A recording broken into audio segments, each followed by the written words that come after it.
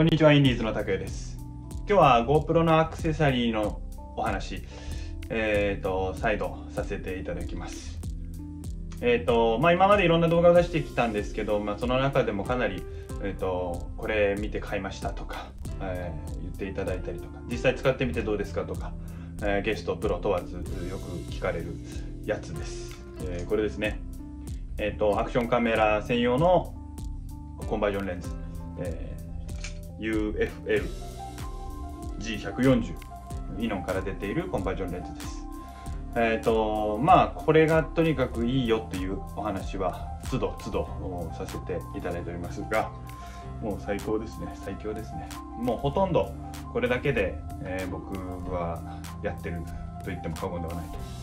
いう感じです、まあ、どんなものかっていうと,、えー、と今これついてる状態なんですけどえ外した状態普通のハウジングに入れた、えー GoPro の状態だとですね、えどうしても水中の、まあ、屈折率の関係で、え画角が少し狭くなってしまうんですね。90 90度ちょっとぐらいに、え狭くなってしまうでそうすると GoPro らしいこのワイドなあえっと画角での撮影っていうのができなくなってしまうので、まあ、それをこのコンバージョンレンズをつけることによって140度まで画角が戻ってくる、実際何もつけてない状態よりかは少し狭まってしまうはしまうんですけどもう全然印象としては、えーワイドな絵っていうのはと変わってきますね。で、えーそしてもう一つ大きな特徴がえー、とピントの合うエリアがですねだいたい GoPro 何もない状態での GoPro っていうのは、まあ、も体感もうちょっと近くでもピント合うと思うんですけど、まあ、60センチから、えー無限円っていうような感じのうんと表記で出てますが、えこのコンバージョンレンズをつけると最大4センチの距離まで、え寄ることができるとすごいですよね、え GoPro 使ってるとどうしても、えー、と近くの、ね、生き物の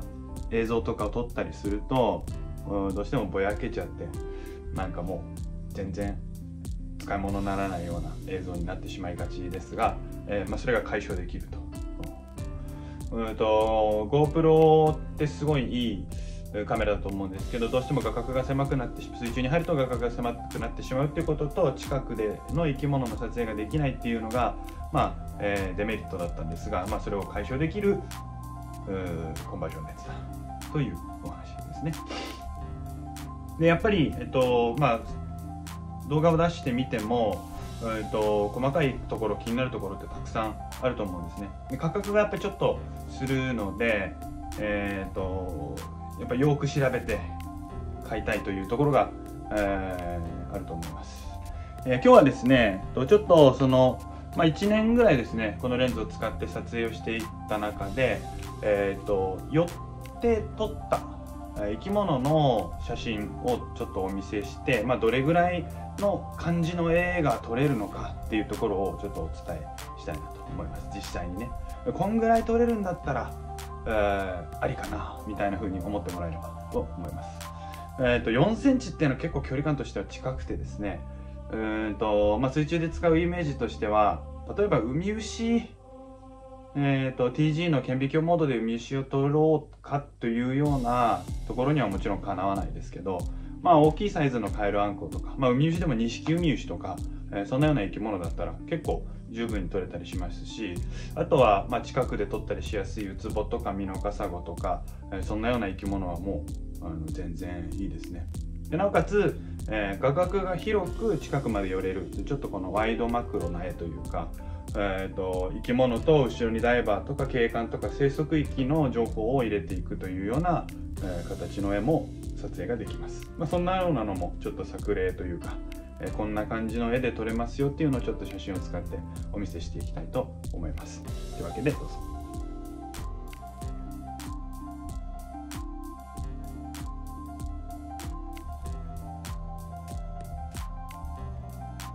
じゃあ写真見ていってみましょう。これはオニオコゼという魚なんですけどまあ結構ピント合うギリギリ、まあ4 5センチっていう距離感で撮影をしてます。えーとまあ、全体の生息域が移りつつっていうような感じで、まあ、ピントはぼやけてないですね、えーこれぐらいの距離は全然余裕というようなイメージです。ほいでワイドマクロの画角をちょっと応用したような感じですね。後ろにダイバーが映ってる。これはまあならではというような絵だと思うんですけど、まあ、こんな風に、えー、と広いエリアが映るし近くにちゃんとピントが合うというのを生かした撮影がしっかりできるなという風な印象を受けますね。で海牛なんかはちょっと難しいかななんていう風なお話をさせていただきましたがまあこれぐらいならなんとか青海牛いるの分かりますねこれはイバラタツですね。被写体のサイズもまあ5センチぐらいの生き物なんですけど逆にちょっとこういう風に、えー、広めに撮っていって、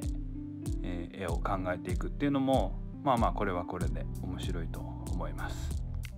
はい。まあこんな感じでですね。えっ、ー、と、まあ、前回一番最初に出した動画はその画角が広くなるっていうのはこんなにも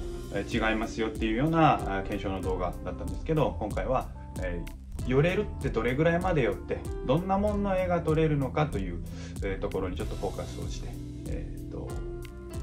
発信をしてみました。まあ、細々ですね、えーとまあ、設定がどうのとか気になることもあると思いますしあとは、まあ、水中での持っていき方ですねシャックルをつけるとか、えー、あとはこのレンズカバーのこれまあ、外れづらくはなってるんですけどやっぱ外れると浮いちゃうんですよねねフローティングなので、えー、そこら辺の処理だったりとか細かい気になることもあると思うのでもし何かここが気になるここが気になるので一歩踏み出せない購入にっていうようなことがもしあれば、えーとまあ、海であったりした時に潜りに来ていただいたタイミングで、えご相談にも乗りますしあとはあとコメントとかいただければそれにちょっと沿った動画も発信できればなと思っております。ぜひ何かの参考にしてください非常にいいレンズですというわけでまた